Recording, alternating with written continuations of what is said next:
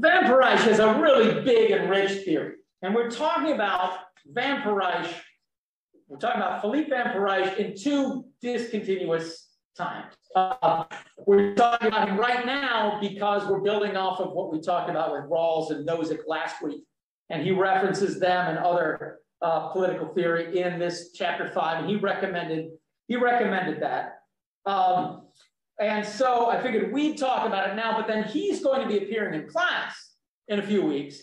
And when it comes time to have class, you all need to be ready with lots of questions for him, discussions and issues and stuff like that.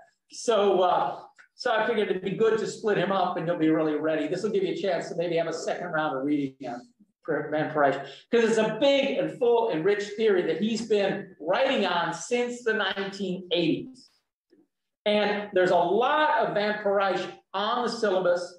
I recommend that you look at it pretty broadly. And I also recommend uh, talking to each other, reading different parts. So you can share different parts. So when we get to like what Van Parijs, when Van Parijs uh, is going to appear, uh, I think like some of you should read this part, something we should maybe talk about it in advance. Who wants to read this and wants to read that and wants to read the other thing, so that we get uh, so that we get uh, different perspectives on him. You can compare your perspectives. So now I'm trying to sum up Van Parijs, which, which what he says, written a couple years ago, uh, co-authored with Yannick Vanderborght. But it's really a summation of his theory from the last 30, 40 years. And he thinks that this is his best summary of his theory. Um, I, uh, uh, I'm not sure that it's the best short statement of his theory that he's written in his life. Um, but this is what he recommended that we focus on. So, so uh, let's focus on this. So this is in a book about basic income. So it's not a book about his theory. It's a book very different than the one I just presented about myself. It starts with, and so it's, it's already, it's the ethics chapter that comes after four chapters of other issues about basic income.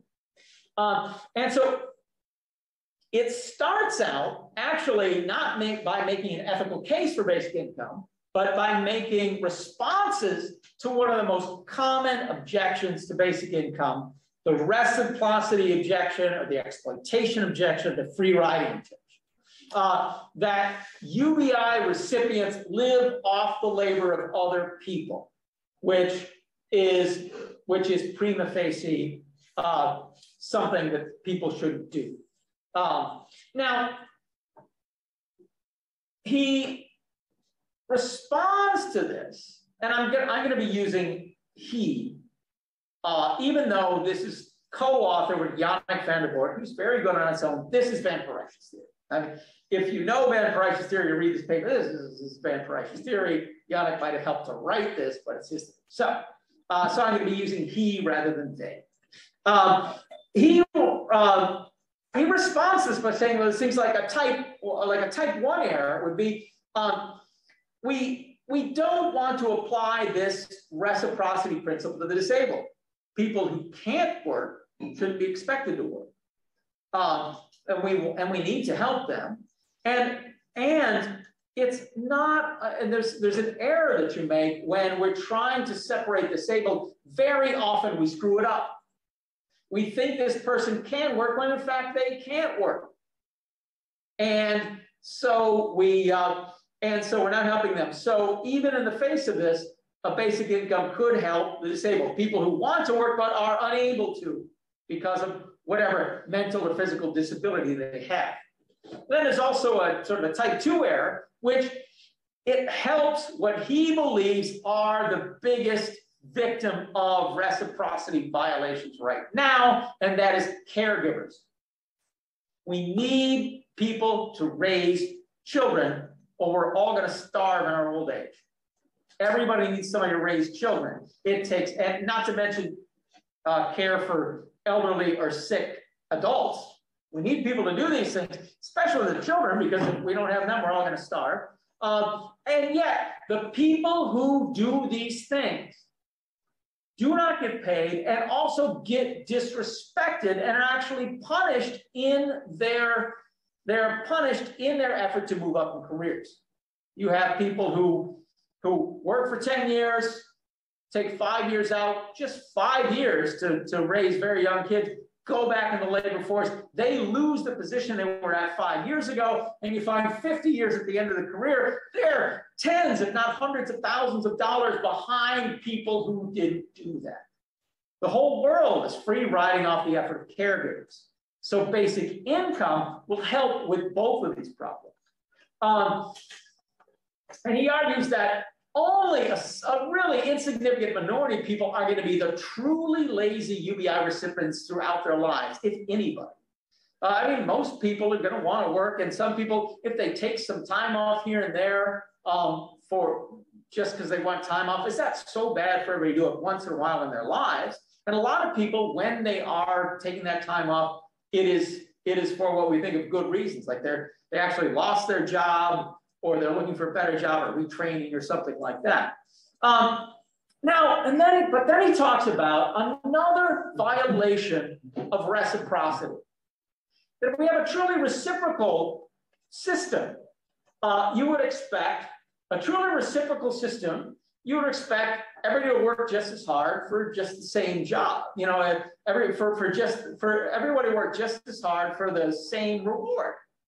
Uh, but what we have and we, we have a system, and we know we have the system where the highest paid jobs have the best working conditions and the and the and are the and, and are the most pleasant jobs to do. The lowest paid jobs have the most stress, the worst working conditions, and the least pay. And we do not have a perfect meritocracy of all that. And when you find, like COVID was a great example of this, we find that when we got a, when we were looking for who's an essential worker, we found it largely those are the people at the bottom, the most essential workers, the people with the worst jobs. And so what we have is an, an exploitation, exploitation thing where the people with the, the good, well-paid, pleasant, life-fulfilling jobs are living off the people who are doing living off the efforts of the people who are doing the harder, uh, the harder, more difficult, uh, less paid, poor, uh, higher stress, uh, um, longer hours jobs. So that's a form of reciprocity violation, and UBI can help with that by giving market power to the people with those jobs and creating greater equality through the system. So then he defines, he really then defines the essence of his real libertarianism, uh, which goes real freedom for all. Now, real libertarianism uh, is his own term, and it's based on a, a term that he defines technically. The term, the term real freedom for Parijs is a technical term, and you got to understand the definition of that technical term. Uh, it is the freedom to do whatever one might want to do. Um, essentially, I find this, I find this to be pretty much synonymous with freedom as opportunity. More opportunities, you're more free. Less opportunities, you're less free. Uh, that's something we can ask Philippe when he comes on. Uh, is is freedom to do whatever one might want to do pretty much the same as, free, as, freedom as opportunity. Um, he rejects the idea of calling it positive freedom because he rejects the distinction between positive and negative freedom. But he does do some negative freedom characterizing this. And the thing is, this kind of freedom, real freedom as technically defined, has a distributive character if there, if, if we made all the opportunities equal because of incentives in the world, we would all have lower opportunities. If we if we allow for some people to have greater opportunities, that might be a necessary consequence of having a society that gives people incentives to do the things that we need. So, um, so it has this distributive character, and so equalizing it might actually make even the least advantage worse off. So here he really takes off from Rawls. Rawls wants to Leximin, uh, wants to Leximin wages and, and, and net advantages and primary goods. Leximin, if you remember from Rawls, Leximin is minimizing the, uh, it's a lexicographical prioritization of minimizing the maximum loss. That's Leximin. The maximum loss being ending up as the least advantaged person in society. Rawls wants to wants to Leximin wants to Leximin either income or primary goods, whereas whereas Van Parijs wants to Leximin freedom. So you want to maximize, so instead of equalizing this technical term, real freedom, you want to have um, maximize the freedom of the least free person. Uh, so what, what Rawls does with wages, he does with freedom as opportunity. And this leads him then to unconditional basic income. If you have the highest sustainable unconditional basic income, he argues that People have the freedom to do whatever they might want to do, but the least free person has as much of that as we know how to get. Um, but he does not go for the purely positive freedom route by saying we're going to do this regardless of anything else. It's just we're only we he said he he, he agrees to the exploitation objection to UBI to this extent, and that is that we should be sensitive to people's ambition. Okay, if if say uh, Medha and Andrea, or do you go by Andy? Uh, no. Andrea. Okay, Medi, Medha, and Andrea. Let's say they've had exactly equal opportunities, and Medha is just just enjoyed laying about, which you're allowed to in the Van system. Enjoyed laying about. That's all she's ever wanted to do. Whereas Andrea has taken advantage of these opportunities and has earned a bunch of stuff, and she's uh, uh, and she's worked really hard in order to get to do trips and stuff like that. Well, Medha would have more opportunity if we took from uh, from some of what Andrea has got from her great, great ambition, and we gave some of those opportunities to Medha. It's like, well, but she, but remember, we said we started they were equal in every conceivable way. Um, she could have done it the way um, uh, if Medha, if, if Andrea worked for those opportunities and Medha didn't, um, then we're actually lowering the opportunities that Medha has, that really kind of that both of them have to work for and gain these things. So he, do, he does want to be sensitive to your ambition. So he's not going to leximize, lexim in the opportunities that come from everything. He wants to wants to Leximin the opportunities that come from external gifts, the things that are beyond our control. Because we, we really don't have a situation where we have two people with the exact same opportunities. Um, how do we do that? Well, um, we do that by looking at the value contributed by natural resources. This is well, you know, um, natural resources are the gift of nature. Nobody has a natural right to own these more than anything other. Any income you're getting from natural resources should be taxed and redistributed at the highest sustainable level. This is a proposal that goes back, in some sense, all the way to Thomas Paine, who is the, the godfather of the basic income movement. Um, also to Henry George, although Henry George did not talk about redistributing it in cash. Uh, uh, but this idea of, of taxing the value of natural resources, high, highest level. That is one thing. Um, then he looks at the value contributed by past technologies. Um, those don't belong to anybody in particular either. So those we can we can do that, but also entrepreneurial rents. It is you know one thing if uh, if Andrea and Medha both start businesses and uh, yours just happens to get, uh, Andrea's just happens to get a, a, a, wonderful niche and makes millions of dollars in profits and yours kind of stagnates. Those kind of entrepreneurial profits that are over and above what you work for and really the country, just you're getting lucky in the market, those he said we could tax and redistribute. And what he calls job rents, which are what I talked about before, how we have uh, the worst jobs have the lowest pay, the most stress, and so forth, and the highest jobs tend to be the more pleasant jobs. That those happen because there's some sort of disequilibrium, well, there's some sort of market failure going on. And so that job rents could also be, be taxed. So he goes from he goes from starting out with what really libertarian, what left libertarians would want, which is taxation only on resources, and but looking at resources and rents, and you're looking at all the different kinds of rents in society, and comes with that's so many rents that we can just go to an income tax uh, as an approximation for what is going to get those four different kinds of rents. And then he addresses Rawls.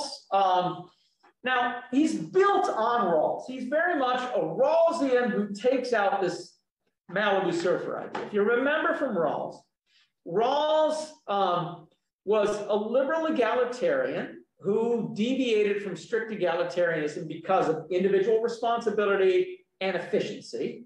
And uh, Van Parijs was with him on that. Um, and he wanted to maximize the advantage of the least advantaged person. And NIT, well, he used this example of NIT, but Musgrave came along and said, well, do you mean that somebody who just doesn't work at all is going to benefit from people who do work? And he said, no. And he had this whole thing with making leisure a primary good and saying people that don't work are exploiting others to get uh, an unfair share of work. And, and came up saying those who surf all day off Malibu must find a way to support themselves and would not be entitled to public funds, which makes it sound like Rawls is going to be very conditional. Uh, that implies that Rawls wants something more like guaranteed employment and wage subsidies rather than UBI. Uh, now, Van Parijs looks for things in Rawls. Well, first of all, he's sort of rejected that view when he goes to real freedom. Well, he's rejected that view to begin with when he goes to real freedom, maximizing real freedom and maximizing advantage. But also, he looks in Rawls's theory there are reasons to indicate that we might go for UBI. And that's one of the that's one of the geniuses of Van Parijs. He's very good at finding arguments for UBI using other people's premises. Like when I talked about when he started out with uh, with a reciprocity objection. There's actually also a lot of reciprocity reasons to favor UBI. Um, so what he says is look at people's lifetime income and opportunity. And uh, if you shift from this out come what he calls an outcome egalitarian interpretation of the difference principle to an opportunity egalitarian interpretation, then uh, then UBI is really not necessarily going to have these have these problems and and and, uh, and to be more neutral between those who want to work more and those who seek freedom other ways uh, or use their freedom other ways. Uh, this actually supports UBI. He makes a similar argument against Gerald Dworkin, which I'm not going to get into in a major way. Uh, but it's also, he thinks it has a pro productivist bias. And even Dworkin admits that, that um, Dworkin is very much uh, against UBI because of this reciprocity objection. He himself admits that something like UBI, maybe a, a negative income tax, would work better in practice to make sure nothing else goes wrong, even though he thinks in a first best situation, if you could really tell what everybody deserved, you would give it to them. But uh, uh, Van Parijs, and, and he has Van Parijs argues that even using his theory, you could get a first best argument for UBI. Um, and he talks about Brian Barry and Andre Gorz were originally against UBI and they came out for it. Uh, Amartya Sen really never made a statement on it. Um, he talks about um, uh, freedom as being the power to say no to things you don't want. The, uh, sorry, the freedom to be say to say no to things you don't want, and the freedom to say yes to things you do want. Connects that to Pettit's republicanism. I now, let's see, he talks about libertarianism, and there are, of course, libertarians reject what libertarians reject what liberal egalitarians have tried to do. Liberal egalitarians, whether it's Rawls, Dworkin, Brian Barry, Andre Gorz, Van Parijs, are interested in, in being sensitive to your ambitions, but not to anything that's a gift of nature, uh, including things that are internal gifts of nature, such as uh, you have more talent than someone else. They want to equalize these things that are arbitrary advantages. Libertarians, as, as conventionally defined, come in two kinds. There are libertarians who reject who reject equalizing these arbitrary, really basically any arbitrary advantages. Uh, because they have a strong belief in private property ownership, that that is a natural right that comes before other things and that should be equalized. But then there are left, and, and they have a, a strong belief also that you own yourself. If I own myself, I can't say, you say, okay, um, if, uh, if Benedict owns himself, then uh, the government and, and Marvin owns himself, and Benedict is just way more talented. Um, so Benedict is way more talented. Um, then he can earn more than Marvin, and that is just an arbitrary advantage, just because of how he was born. Um, now, a liberal egalitarian say, okay, we're going to tax Benedict to help Marvin. Um, but a strong person believes that, that you own those, you own yourself. I own those natural advantages that I have. Even if they're not, I don't have them because of anything I did, I still own them and no one can take them away for the benefit of other people. Left libertarians agree with the right libertarians on that self ownership thing, but not on the, the resource ownership thing. So, what's, what left libertarians want to do is we're not going to look at these personal endowments, not trying to make up for that, but um, we do want to equalize external endowments, the things that are caused by socially imposed arbitrary advantage or, uh, or unequal access to the Earth's resources. So left, left libertarians accept equalizing natural resource value.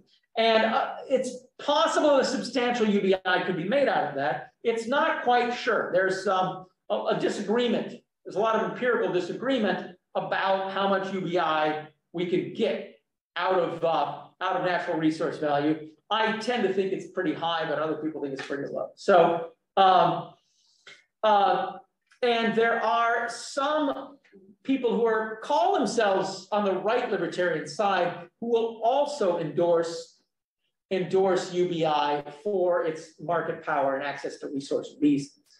Um, and uh, so, Mar so um, so real libertarianism is a form of left libertarian in the sense that, that it rejects these pre-institutional and individual entitlements to the resources of the earth. The resources of the earth are something that none of us have particular claim to, and, and we and wh whatever way we're going to dole those out has to be something that that is in some meaningful way is equal to everyone. Now, he also talks about Marx and Marxian, and Marxian theory in the world today. Um, Marxian theory has pluses and minuses for basic income. Marxian theory is all about the exploitation of the workers to benefit non-workers. On the one hand, that would seem to say, well, if you're going to have UBI, people are going to be, there, there, there are people who are allowed not to work and they can have they can benefit from the people who do work. Um, so so uh, that would seem to exploit those people who do work. But on the plus side, there is a lot on the plus side in Marxian theory. It frees workers from the obligation to work. When Marx talked about people have nothing to sell but their labor, that's what forces them to take these exploited jobs in the first place. And what what, uh, what he, uh, Philippe is asking is which is more important? That the, the worker is free from that obligation, that free from that situation where they have nothing to do but sell their labor? Uh, or is it is it important that uh, when they do labor, none of none of that is being taxed away or taken away by someone else? Um, it also helps create the abundance that could re relieve alienation. Marx talks a whole lot about how alienated workers are by no being nothing but a commodity all day. Why wait for the revolution to fix that? When basic income could do that by giving workers a bunch of other options. Um, so uh, there's a lot of good reasons for Marxists to be in favor of basic income. As a matter of fact, they might be more radical for it than, than Van Parijs would. Um, because Van Parijs would stop when you maximize the uh, highest sustainable level of basic income. They might want a higher taxes to create greater inequality, a lower basic income, but a more equal society with a, a, lower end on the top. They might lower the high end just for the sake of reducing the power of the upper class. They might go, in that sense, in one way, that's farther than he's going, it's farther than he's going towards taxing the rich, but it's not as far as he's going about, about how much you have left for basic income. Okay, so two hands over here go up immediately. Okay, Marvin, I saw you first. Uh, Marvin. Where is that? I'll go first. um, I think it's um, what you just mentioned is exactly the reason that a lot of leftist people disagree with the universal basic income. It, it really doesn't touch on like property property rights. It, it, leaves the basic status quo and is simply a redistribution. Mm -hmm. And in that sense, it's lacking the revolutionary aspect. Yeah. So that just has a addition. Yeah. Okay. I'm I'm 75 percent. Uh, my, my point was 75 percent of Marvin's point. Yeah. But uh, I immediately thought like, what what would happen to the means of production? What would Marxist UBI proponents say to um, the ownership of the means of production? Because do we do we let the the capitalist class still have the means of production and just redistribute like whatever wealth arises from productivity, or do we actually touch on uh, do we actually redistribute ownership of those means? I mean, that's they're sort of they go into that the same direction, I guess. Yeah. Uh, and I think part of the idea is that, you know, the, the capitalist road communism is which what he uh, called one of his earlier essays on this is, you know, uh, it, it's now, that's almost 40 years ago, but at this point, it's been like 174 years since the Communist Manifesto and uh, Marx and Engels predicted the, the inevitable fall of the capitalist system to a, a, communist revolution. It hasn't happened, and it doesn't seem any more inevitable now than it did then. Um, so, so it's a capitalist, you know, why, why, why not do what we can to help the working class as much as we can and build the sort of utopia that he was talking about with the tools we have that might eventually mean uh, lessening the power that capitalists have over the means of production. And if you look at what he's doing here, I mean, there's a lot of things that will lessen the power. If you're taxing away resource value, if you're taxing away entrepreneurial rents, um, and and these uh, and these other arbitrary advantages talking about, you are going a long way to weakening the power of the capitalist class over the means of production. Um, okay, thanks. So just for the record, Dreton also has his hand up. Oh, hey, and he figured out how the electronic. Yeah. okay. Uh, um, and also, what, what, what I could you know say to say to uh, a Marxist opponent of UBI is yeah. I I know that in, in Marxist theory, crisis is, is seen as inherent to a capitalist system, mm -hmm. and sort of this this cycle of crisis and then um, yeah. fo followed by boom. Exactly, I was looking yeah. for the word. And so UBI would inherently help workers during the inevitable phases of crisis. Yeah. So it's definitely better than before. Yeah. So there there are some like Marxist arguments to be made, maybe, or you could get Marxists on board with that, like within their sort of theory. Yeah. Can I add something? Okay. Yeah. Um. Yeah. If you uh Oh yeah, that, that's you see, the people who are present, they can signal me in like more than one way, uh, which is, you know, so uh, they can signal me say, okay, I'm responding to what the, the, the last person says, so we'll remain on the same thing. So I'll let her go first, assuming yours is on something a little bit different. And by the way, I'm pretty much done presenting Van Parijs anyway. We can just go, we can go to discussion. The only thing I have remaining to say about him was that he doesn't think utilitarianism has a really good argument uh, uh, either way for or against basic income. So uh, that was the end. Okay, so. Uh, yeah, so uh, you talked about um, how the fall of the capitalist uh, regime has not come yet, as predicted by Marx. I think what um, Benedict said and what you said is that um, there have been revolutions, but there have been revolutions in very, um, they have been very mobilized and it's not that the uh, what Marx predicted is that workers of the world will come together, and nothing as such has happened. So there have been like really small parts mm-hmm. where things have happened, and I think universal basic income would help uh, to, you know, um, I don't know how to say it, to uh, accelerate it in some sense, mm-hmm. Uh, to more universalize uh, empower uh, the labor class against the capitalists.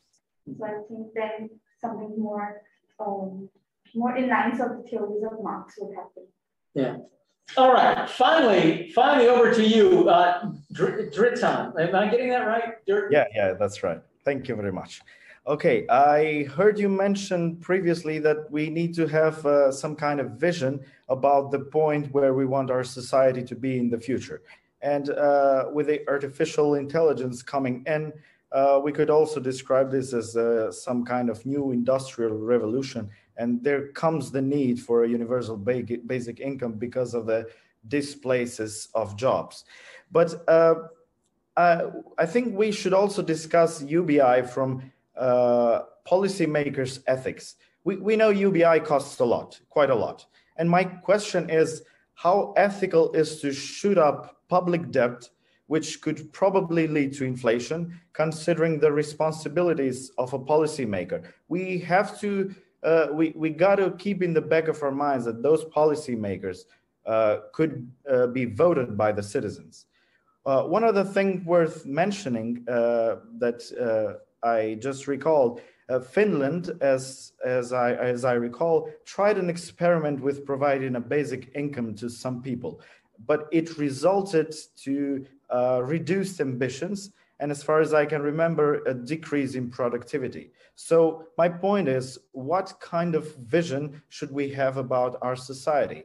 Uh, is it is it is this uh, really quite that ethic, ethical from a policymaker's point of view?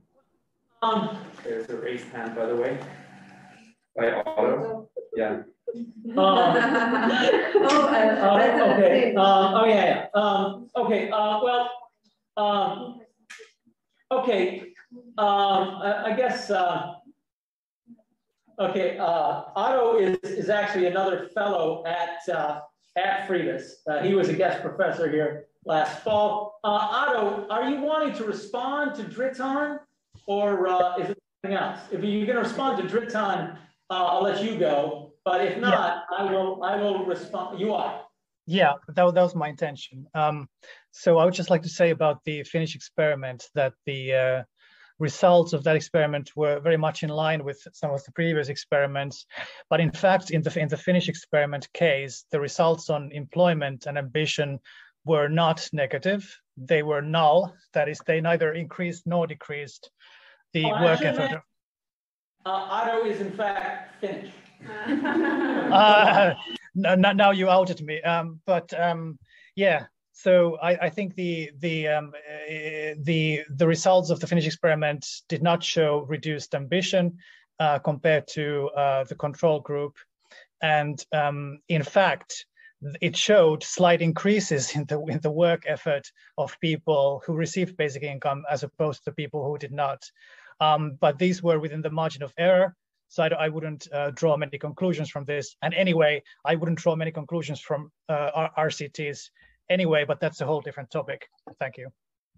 Okay, so what you're asking about there is not, what you're asking about there, Dritan, is not so much about Van Parijs's theory, um, but about ethical implications of, and it's even, it's even, it is, you're talking about the ethics of UBI, but you're talking about the ethical implication of these empirical claims about UBI. Um, and I'm going to follow Otto and challenge the um, nodding on the ethic, not on the ethical implications, but on the uh, on the uh, uh, on the empirical premises for the most part, uh, which is you see, you know, your first part was about the cost of UBI. Well, UBI is probably not as, as expensive as you as you think it is. I've written two papers uh, well, uh, on the estimating cost of UBI and several about what is meaningful in the cost of UBI. What is meaningful, I said, is that net redistributive effect the amount that, that after they pay their taxes and get the UBI, the amount that the net contributors pay, and the amount that the net beneficiaries receive, that net redistributive effect of UBI. Um, that is, that is, well, for a, in the United States, a poverty line UBI, that's gonna be around 3% of GDP. For something more like what I just like to see, it'd be more like eight or 9% of GDP uh, for uh, for say a twenty thousand dollar a year UBI 19 in, in 2015 prices. Um, 10% of GDP is expensive. 3% of GDP is expensive, but it's not undoable. We've raised public spending by by more than that to fight wars. Um, so it's, it's, very doable. And the question, of course, is the cost for who? You know, the, uh, what what I argued about in my book that we talked about today is that that the system we have right now is really costly to the least advantage. And we strongly owe them. We are imposing costs on them, the least advantage. If these things, and if, if these things are going to make sure everybody's needs are met, these costs of basic income, and here I'm getting more into the ethics. If, if we're making sure everybody's basic needs are met, but some other things have to come down, some other spending has to come down because we're better meeting basic needs, that must be coming out of other people's consumption of luxuries. If we're consuming all these luxuries and we can make sure everybody's needs are met with 10% of GDP, uh, I think we're, uh, well, my, my, my theory and Van Parijs's theory we're talking about would say, go ahead and do it. Now, um, we went to questions without going to our discussant. So, oh, okay, uh, okay, I want to get to our discussant who's going to, give another presentation on that first, but, but it is only fair to give Dritan a chance to respond. Okay, Dritan, go ahead and respond to the Thank you very much. Uh, when we're talking about UBI, we're talking about a paradigm shift. So we actually don't really know about the uh, certain effects of, of the of the UBI, and um, it seems that I might have missed the Finnish experiment but as far as I can remember, I read it a long time ago, and it, and uh, it was installed in my mind that it lacked. It it, it was uh, it resulted in reduced ambition. But let's let's uh, talk about more more. Let's talk more practically.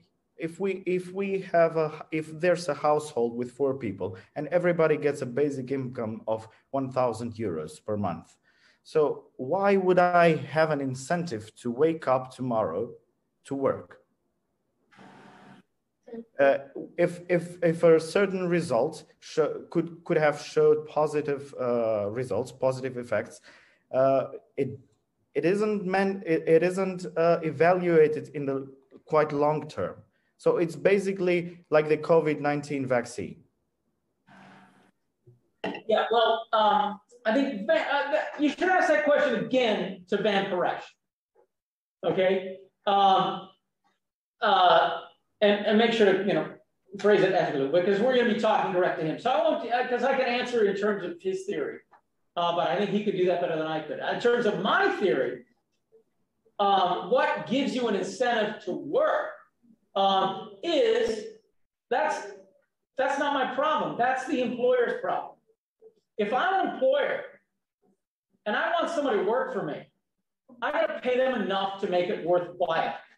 I don't say, you can't have access to the resources you need to survive unless you follow my orders. I say, okay, you've got the resources you need to survive, but I can give you money that will get you luxuries. And you're gonna like having these luxuries in addition to this kind of bare minimum you're living on here in this basic income. If I can't pass that basic test, my job probably sucks. And they probably shouldn't be taking it. And maybe that job shouldn't exist.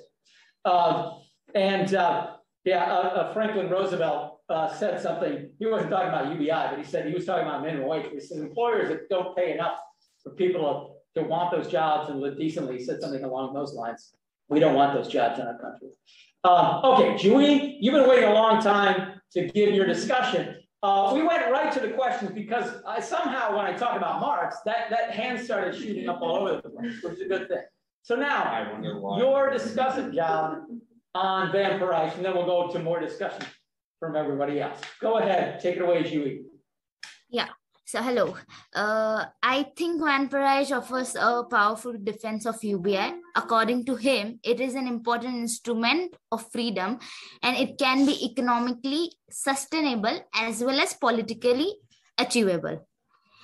Uh, I agree that UBI can free us from the need for survival that forces us into jobs that are dangerous or uh, that are badly paid or stressful or demeaning by any any way but the question that arises is people who believe that work is a moral moral duty over to uh, moral duty will ever they agree to a system that doesn't even require a willingness to work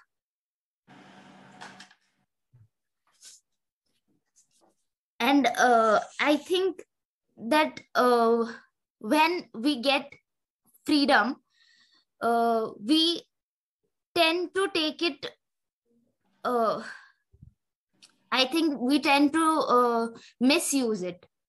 Because uh, for instance now uh, taking the covid situation my mother is a teacher. And uh, uh, due to the COVID thing, last two years have been a drastic change in the education system.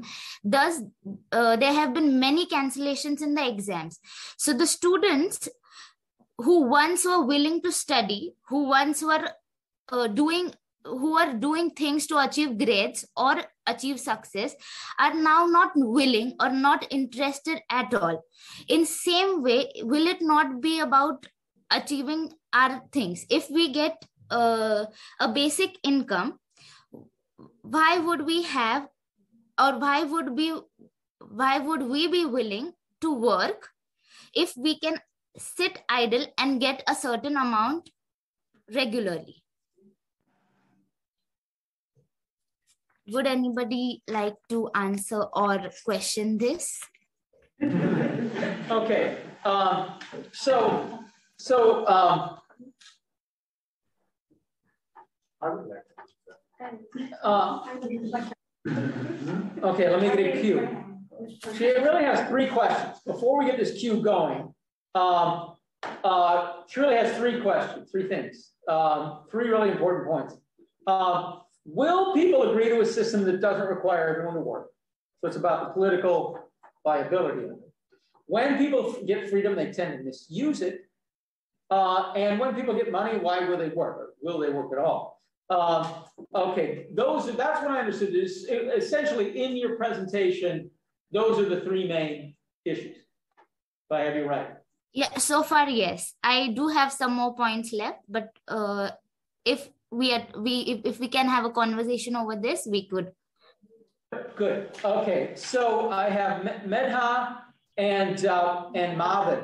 Um, uh, want to respond. Anybody else? Okay, so Medha, you first. Yeah, I, I, I have another question uh, in lines with what Julie said. Mm-hmm. Um, uh, would in a friendly patriarchal society, wouldn't UBI promote uh, sexism of some sort? Because then the man would say, "Oh, why would you want to work? You can just stay at home and take care of the kids because you are getting a basic income. That I'm talking about in patriarchal societies in developing countries. Uh, so yeah, that's my question. There's a fair share of patriarchy left in Germany. Yeah. Okay, um, okay, Marvin. Yeah, um, I don't really have an answer to how to get people to agree to a universal UBI. I think that's a like really difficult political process.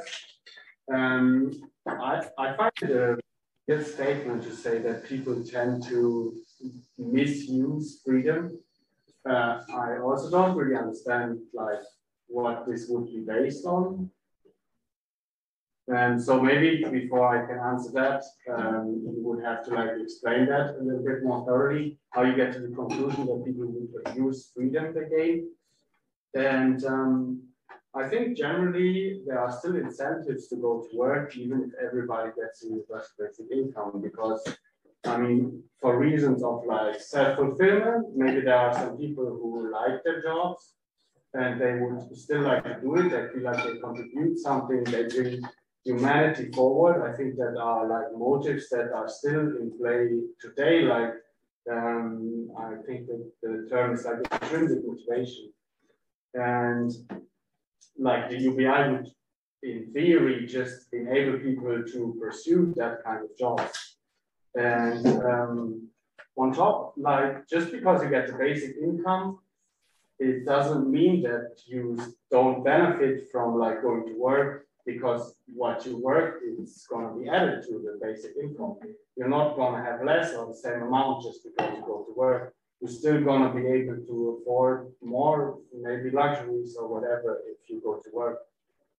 So yeah, and I might just respond this way to the, the sexism argument where I think if you live in a patriarchal society, you live in a patriarchal society, and the UBI would be rather empowering women because um, they can like pursue like it gives them possibilities to do things they would not be able to do maybe because if you have a choice to stay at home or to do something else because if you but then the point is who yeah. makes these choices for you? Are you making these choices? Because in a patriarchal society your husband or your father makes the choices for you. You know, so what if it's the people you are asking for a job is a guy? Yeah. And he thinks that you need to stay home because you like you are already right now. Why should I pay you because you are already getting a basic Like you can oh. do. But I think that's a, I, I mean I honestly don't think that will be like a huge problem of UBI, even though those differences will arise for sure. But that would also lead to decreased representation of girls in uh, human capital of the country. Yeah. Because Okay, now, um, uh, Fabienne wants to say something, but before I get to that, I want to address one thing that you said. This is uh, uh, this is really important because in a, a short discussion of UBI, very often these two contradictory criticisms come up. Uh, we had uh, we had both Dritan and Jui say, when we get money for free, why would we work? But then we have then we have Medha saying, well, when you get UBI, why would they keep paying you so much money? Um, they'll just take the UBI out of what you pay. Why do we need to pay you so much money? If you got this UBI. Those cannot both be true. If you're leaving your job to uh, live off your UBI, uh, then there's a very good reason your, your uh, your employer cannot lower your wages. Um, you lower, lower the wages of the people who remain on the job because that's giving them less incentive to work. When people want to work less, the incentive for businesses is to pay more to entice them back into work. So if UBI, if UBI is too low to live on, I think that's a possibility. If people, or if, if it's high enough to live on, but nobody chooses to live on it, then what you're saying could happen. But if that happens, then the thing they're saying is not happening. Um, not so that's an empirical question of which of those two things, if either will happen. The way I look at it is that's the responsibility of the employer. The employer has to get people to work for them by offering them good money. But that's we'll get to my stuff later. Fabienne, you want to say Yeah, something? I want to, I wanted to reply to the sexist patriarchal um, argument. Because like the po- points you're both bringing are something that are discussed in like the big aid development kind of part of science since the seventies.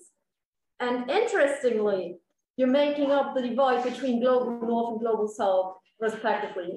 Because the classic argument, like aid workers from the global north are bringing, assuming that like a UBI or any kind of like aid cash transfer, it like would empower women. It's like the classical argument, like women from the global south can't with like what my husband, my father, my older brother, whoever is like that patriarchal person in charge is controlling.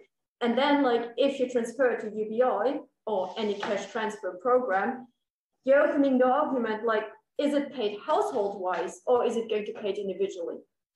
And like depending on which route you're basically going, you're either like going into like empowering argument or you're going into like the controlling side. And it's like actually really interesting that like the connection is like often not made between like these eight arguments that are there since mm-hmm. like a while and like Yeah. basically not going over into the UBI.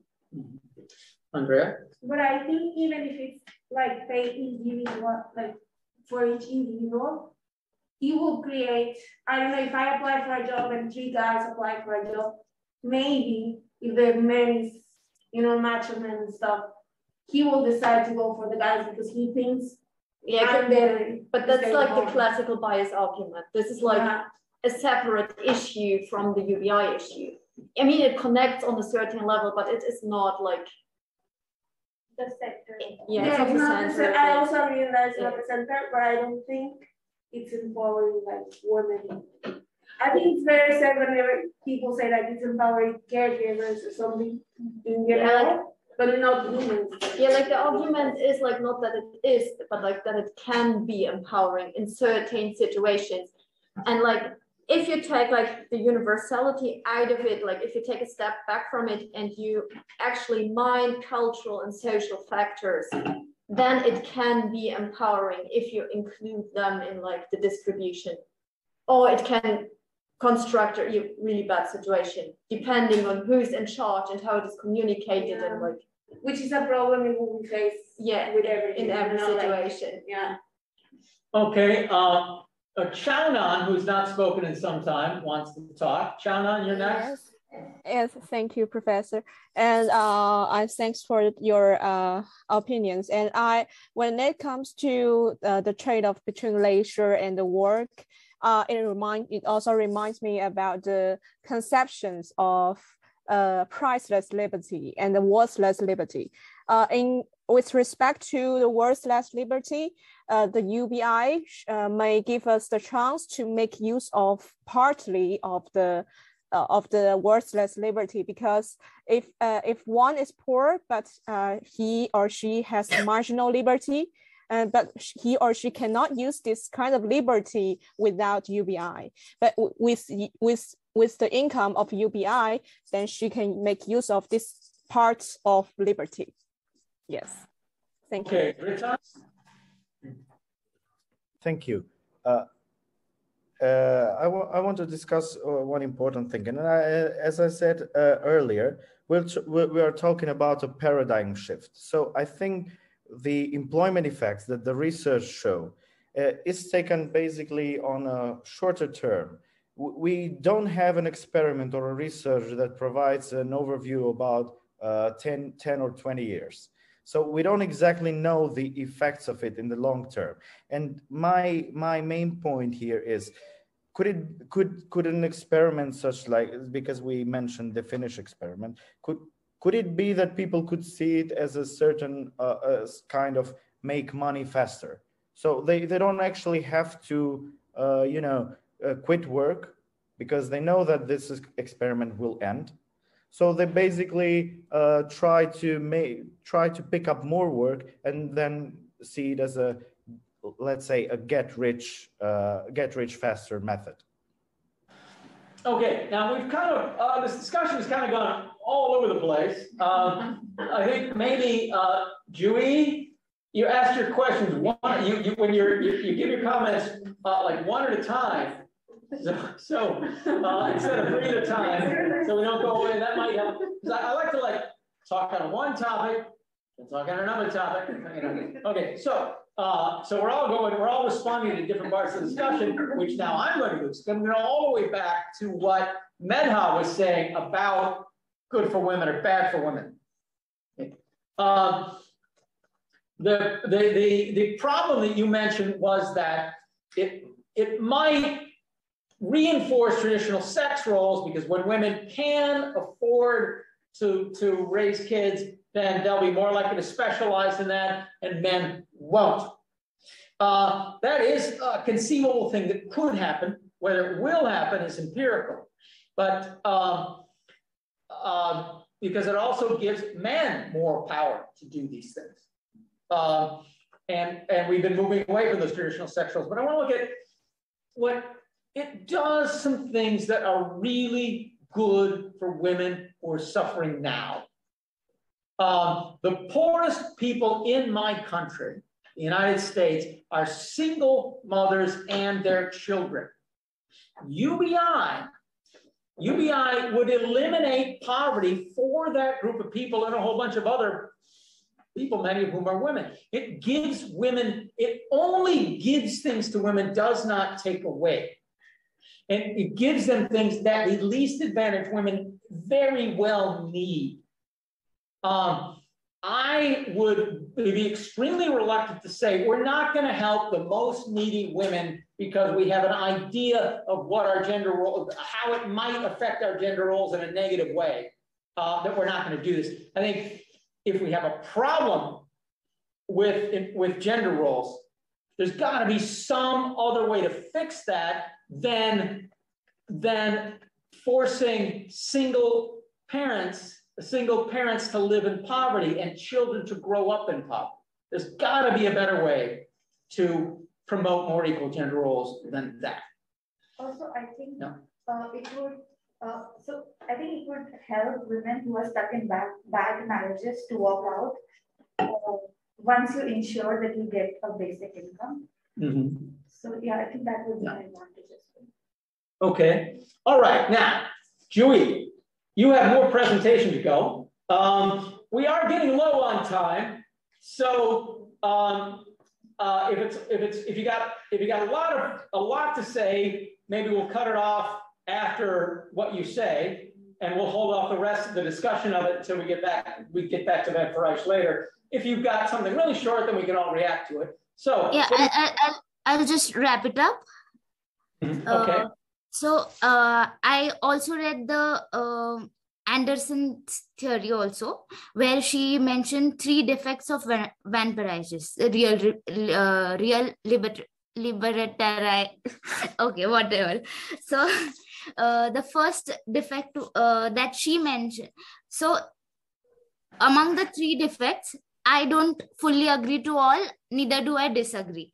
So the first one goes it, it favors distributing income or direct in-kind provision of or voucher vouchers for particular goods such as healthcare or education wherein uh, so according to van price people should get money but according to anderson if people get other facilities like education free healthcare or uh, such such other facilities it would be more beneficial.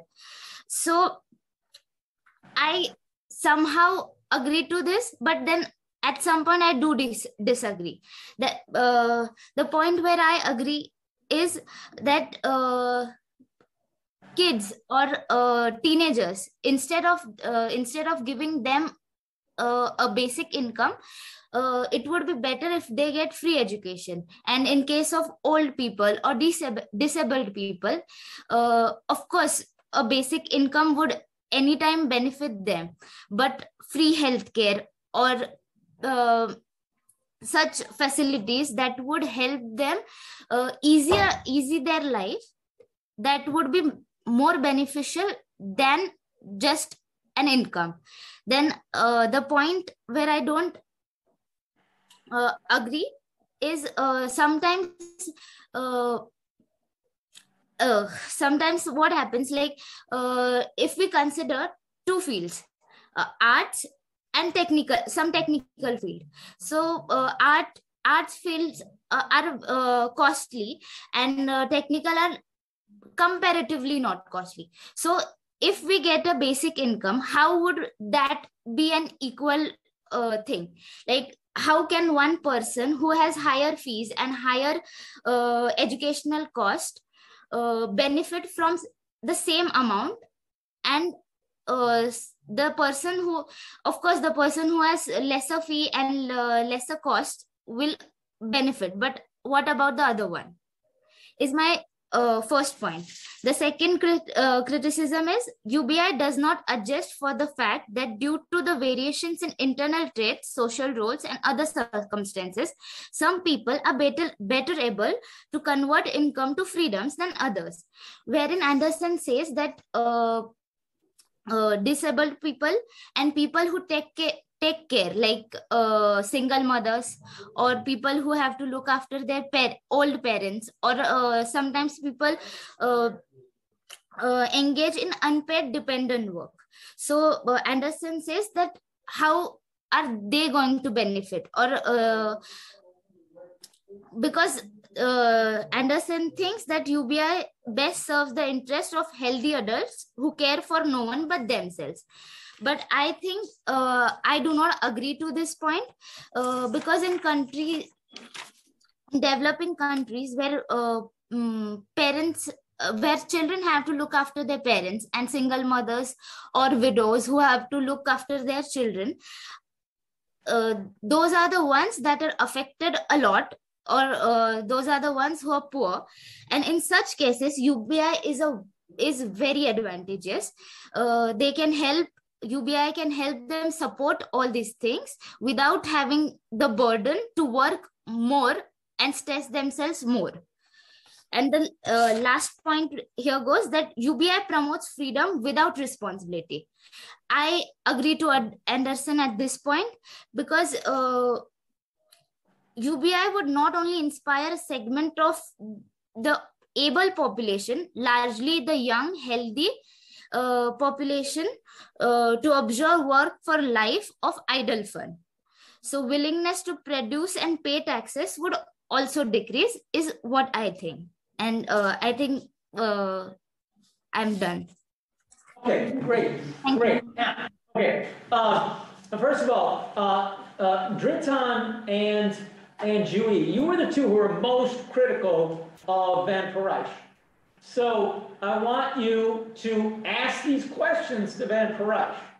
Um, uh, especially that, you know, the Elizabeth Anderson one, she connected that. Remember that the name of that essay is What is the Point of Equality? Uh, and she was saying that what, what this idea of real freedom without responsibility is not getting the basic points of equality. It's, you know, it's a relieving people from oppression, not some trivial thing about, oh, maximizing the opportunity to do whatever you might want to do. Um, and so, you know, tie in with, so when you ask that to Philippe, tie it in there. He's not afraid of tough questions. All right, to everybody, you know, come in here with tough questions for Philippe and for Guy. Neither of them, and we're going to get some others too. None of them are afraid. Otto actually is going to give a presentation. Uh, none of them are afraid of uh, tough questions. So ask those tough questions to him. Normally, I would not end with the discussant giving their presentation. We discuss what the discussant is, you know, asking us to discuss. But we've been at it for two and a half hours. Okay, Benedict, make it quick, Benedict. Yeah. And then we'll go on. Just um, we'll cut it. So, so Dritan was really worried about like the long-term effects of mm-hmm. UBI, and I'd be genuinely interested if there's any research on that. I mean, not today, as yeah. So is it is it like a vaccine where there are no adverse long-term effects because that's not how vaccines work, or are there actually you know adverse effects that may be uh, that may appear after 10 years, 20 years when social change has sort of shifted people's attitudes? Just dropping that, I'd be genuinely interested. I asked myself that question after Dritan mm-hmm. uh, raised the point, and I'd be I'd be willing to follow up on that. Yeah, yeah, yeah. That's something to look for in the literature we have and what's missing. That's more of an empirical question. Mhm. Um, a lot of Dritan's questions are coming from an empirical standpoint, but he is seeing the ethical implications of it. You know, it's an ethics class, it's not about just, does basic income have this effect? Mhm. So you're gonna have to, you want to talk about empiric stuff, make sure you get a good background, you know, you, you get a good idea that it does have this effect, you know, and then, then what are the implications of it? Because we don't want to spend a lot of time arguing about, does it have this effect or not? That's not ethics, that's empirics. Um, so. Can I, can I just like Yeah. follow, just a second? Like, we had a presentation on like empirics of experiments, like in Mm-hmm. October. I have like the book manuscript for that. So like, if anybody is interested in it, like my email address is on the FRIAS homepage. You can just mail me, I like forward you the manuscript. Sounds great. Yeah, okay, um, okay, so let's end it here for today.